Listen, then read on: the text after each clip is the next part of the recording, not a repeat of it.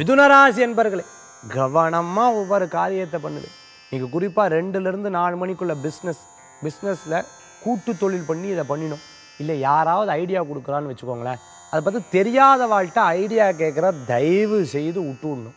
தயவு செய்து விட்டணும் ஒரு சினிமாவில் பார்த்துட்டேன்னா அழகாக சீட்டு விளையாண்டுருப்பான் அதில் அந்த நகைச்சுவை நடிகர் வந்து அதை அவட்ட எடுத்து சொல்லுவாள் கடைசியில் உனக்கு விளையாட தெரியுமானா விளையாடவே தெரியாதுன்னு சொல்லுவாள் அந்த மாதிரி அது தெரியாதவ ஒரு கமெண்ட் கொடுக்குறா அப்படின்னு சொன்னால் கேளுங்க இது நமக்கு பிரயோஜனம் ஆகுமான்னு பாருங்க.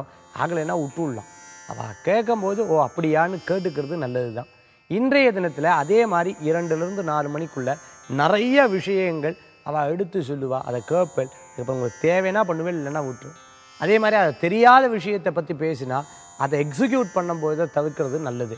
ஏன்னா அவளுக்கு அதை பற்றி தெரியாது.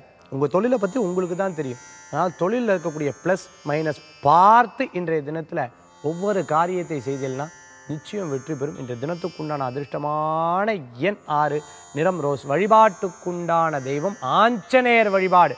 அமோக பலன்களை தரும் அற்புத வழிபாடு.